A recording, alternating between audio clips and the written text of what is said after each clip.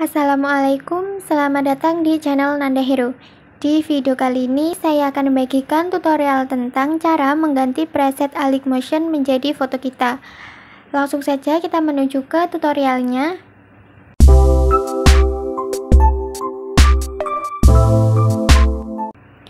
Langkah pertama di sini silakan teman-teman pergi terlebih dahulu ke aplikasi Instagram, buka aplikasinya.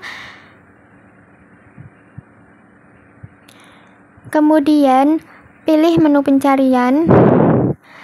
Lalu di bagian kolom pencarian atas ini silakan ketikkan saja preset Alik Motion Pro. Nah, lalu buka atau kunjungi akunnya. Kemudian di sini sudah ada beberapa preset yang siap digunakan. Teman-teman bisa lihat terlebih dahulu untuk presetnya. Nah, misalnya ingin menggunakan preset yang ini, lalu geser ke kanan. Nah, kemudian di sini ada kode QR-nya. Ini di screenshot. Nah, jika sudah di screenshot, kita kembali ke awal atau ke home. Langkah selanjutnya silakan pergi terlebih dahulu ke aplikasi Playstore. Nah, di aplikasi Playstore sini ketikkan saja QR scanner. Lalu download atau install aplikasi QR scannernya. Silakan pilih yang mana. Kalau saya pakai yang aplikasi ini. Di sini saya sudah berhasil download atau install aplikasinya. Nah, jika teman-teman sudah install aplikasi QR scannernya, lalu silakan buka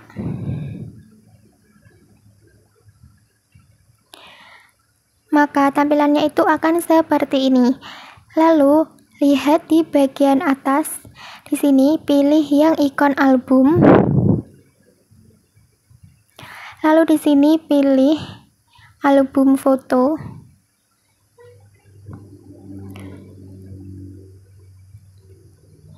Nah, jika sudah masukkan foto yang tadi barusan di screenshot, maka akan dibawa ke tampilan seperti ini. Kemudian teman-teman bisa tap pada linknya atau bisa tap yang buka browser. Nah, maka otomatis akan dibawa ke halaman browser.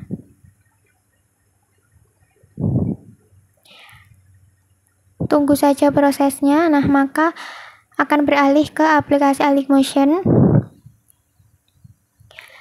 nah kemudian jika ada tampilan seperti ini pilih saja yang impor nah tunggu sebentar sampai prosesnya itu selesai nah jika sudah tampilannya itu akan seperti ini di sini tinggal teman-teman ganti untuk fotonya. Nah, cara mengganti fotonya itu silakan teman-teman geser ke bawah. Cari yang ada fotonya atau foto yang siap diganti. Nah, misalnya ini. Tap pada fotonya lalu pilih yang ini ya color and fill. Nah, kemudian pada tampilan ini pilih yang ikon kotak di tengahnya ada gambar bintangnya yang ini. Silakan di tap Lalu di sini akan diarahkan ke galeri atau ke foto. Silakan teman-teman tinggal pilih foto. Lalu jika sudah, tap ikon plus yang berada di pojok kanan atas. Nah, di sini maka fotonya sudah berhasil diganti. Kemudian untuk selanjutnya silakan cari foto yang ingin diganti. Nah, geser ke kanan lalu di sini ada beberapa foto lagi. Ini masih uh, tadi ya foto yang ada di preset. Nah, ini silakan teman-teman bisa ganti sendiri. Caranya sama, tap fotonya, lalu pilih color and fill.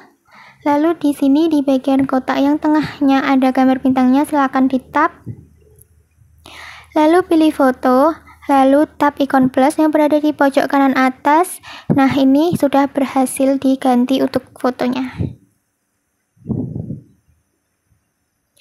Demikian video kali ini tentang cara mengganti preset Alik Motion menjadi foto kita. Semoga bermanfaat. Sampai jumpa di video selanjutnya di channel Nanda Hero.